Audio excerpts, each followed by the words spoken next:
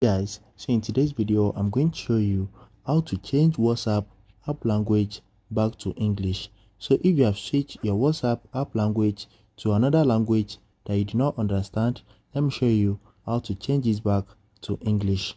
So the first thing is open up your whatsapp and you need to click on these three dots. So i'm going to be showing you different methods.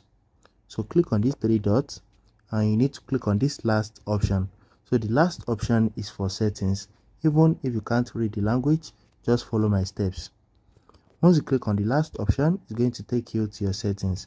So scroll down and you need to find this word icon. So that's the icon for language. So click on it now and you're going to see the option for english. So that's how to change it back to english. So if you set the app language to arabic so let's change it to sorry about that. So let's say the language you set it to is arabic. Everything is going to move to your right hand side. So let me go back to my main whatsapp and as you can see everything is now in right hand side. So if you want to change it back to english click on these three dots at the top left corner and you need to click on the last option which is for settings. After that scroll down and click on this word icon. That's the icon for app language. And now you can now select english. So if you found this video helpful smash the like button and subscribe to my channel for more amazing videos like this.